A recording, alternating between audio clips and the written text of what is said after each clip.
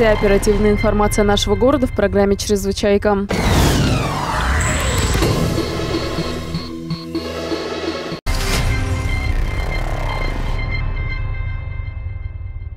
За прошедшие выходные инспекторы ГИБДД зафиксировали 167 нарушений правил дорожного движения. Четыре автолюбителя были задержаны за управление транспортным средством в состоянии алкогольного опьянения. Восемь не предоставили преимущества движения пешеходам. Семеро перевозили детей без удерживающих устройств. 29 автолюбителей пренебрегли ремнем безопасности. Двое не оплатили свои штрафы в установленный законом срок. Зафиксировано одно нарушение правил поведения на дороге со стороны пешехода. Помимо этого, сотрудники ГИБДД 12 раз выезжали на дорожно-транспортные происшествия происшествия.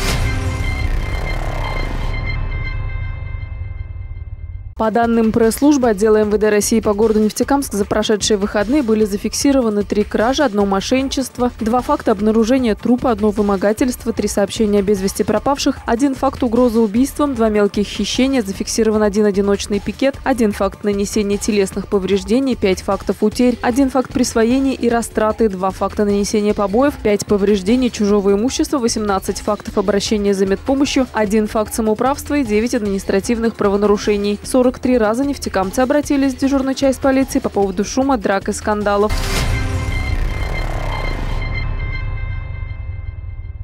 14 и 15 марта бригады скорой помощи совершили 487 выездов. Из них по поводу получения травм к медикам обратилось 19 человек. 31 нефтекамец был срочно госпитализирован. Зафиксировано 19 выездов, связанных с криминалом. Кроме того, 26 человек обратились в скорую с признаками алкогольной интоксикации организма. 16 выездов оказались безрезультатными. За прошедшие выходные в родильном отделении Центральной городской больницы на свет появилось 7 малышей. Один мальчик и 6 девочек.